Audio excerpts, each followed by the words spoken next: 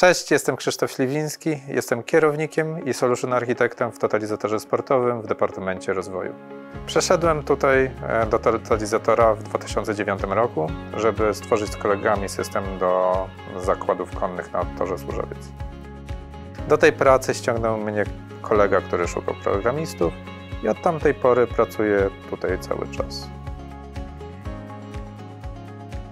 Nasza firma ma tak specyficzne potrzeby, że nie znajdziemy gotowych rozwiązań na rynku i wytwarzamy je po prostu u nas e, w departamencie. Robimy między innymi systemy loteryjne, a największy system objął 20 milionów użytkowników.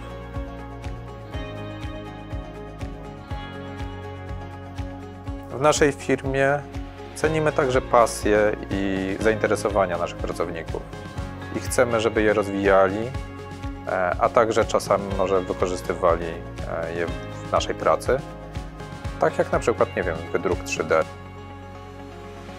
Oferujemy pracę w bardzo ambitnych projektach dla ambitnych ludzi, gdzie tworzymy systemy krytyczne, tworzymy systemy rozliczeniowe, tworzymy e, systemy często czasu rzeczywistego, gdzie w czasie rzeczywistym trzeba rozliczać dane. Technologie, których używamy to Microsoft, e, Microsoft Azure, Java. W naszym departamencie znajdą pracę architekci rozwiązań, architekci chmurowi, DevOpsi i oczywiście programiści. Szukamy osób na różnym poziomie doświadczenia, także juniorów.